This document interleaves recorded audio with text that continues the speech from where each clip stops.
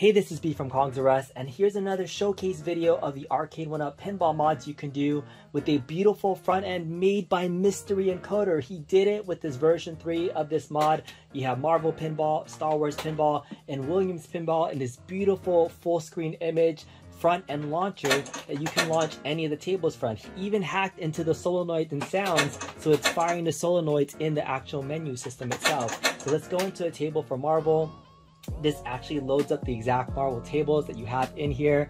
And one of the other major features that people were asking for is once you get into an actual game, can you exit back to the launcher menu? And the answer is yes. So let's just get into a table really quickly so you can see that this is running. This is Marvel Civil War on my Star Wars um, pinball machine. So this is running perfectly well. All the solenoids are firing and everything.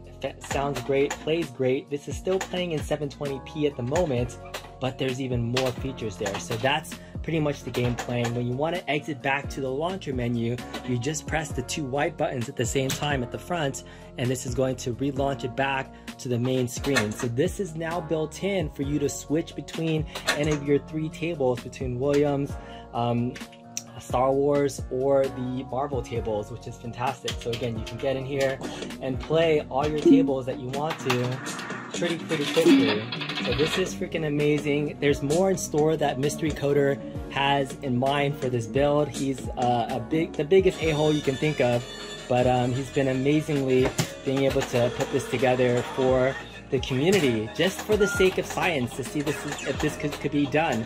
And so once you're back in the menu setting, I want to show you one last feature that he did, which is freaking awesome. You can now enable 1080p on your playfield too. So right now we know this is 720p. If you hold down the left uh, white button on the front left side, hold it down for about 5 to 10 seconds, and then let go.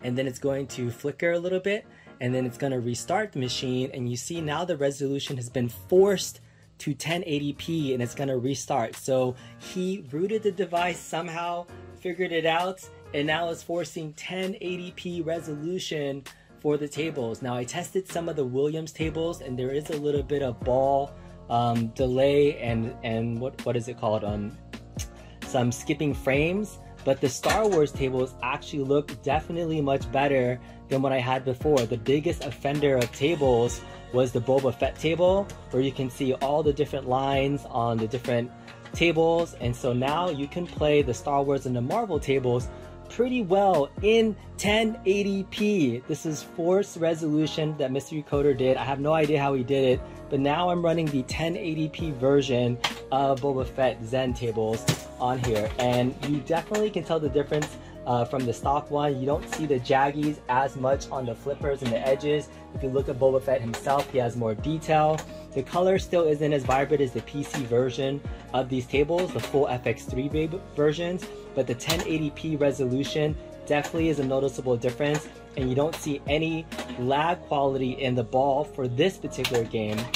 If you're actually in the Williams game tables, um, there is a little bit of, I would say, uh, frame skipping that's happening on the tables. So the Williams tables has a little bit of a delay on the tables that I tested using the 1080p. You can even see when I'm navigating the menu, the menu feels a little bit slow when I'm playing the tables. So let's run Attack from Mars. It's just running a little bit sluggish in the 1080p mode. So I don't recommend playing the Williams Pinball Pack in 1080p, but you can do it for um, the Star Wars tables.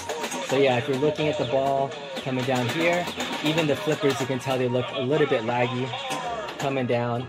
So there's definitely some not smooth animations happening on the ball here. But for the Marvel tables and the Star Wars tables in 1080p, they look good. There's a little thing here that says 1080p enabled.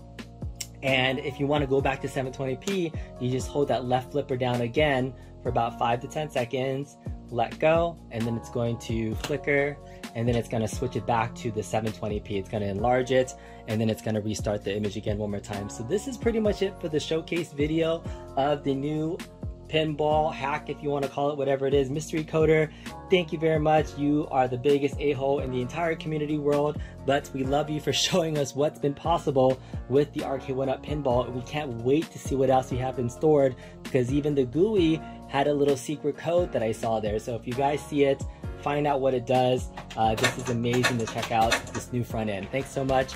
See you next time.